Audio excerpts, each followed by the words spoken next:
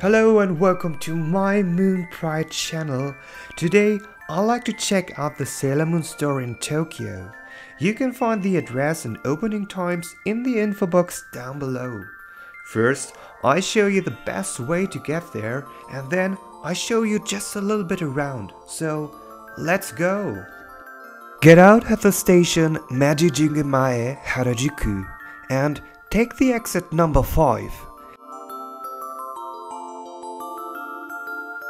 Go the stairs up and turn to the right side. In front of you, you can see a famous building called Tokyo Plaza. But you have to turn left and go straight on, just a little bit, till you can find on the left side the shopping mall called Laforet.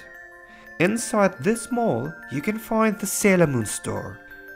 You can find so many different merchandise there like keychains, Blu-rays, CDs, plushies, sweets and so on. So enjoy the tour and have some fun in the Sailor Moon store.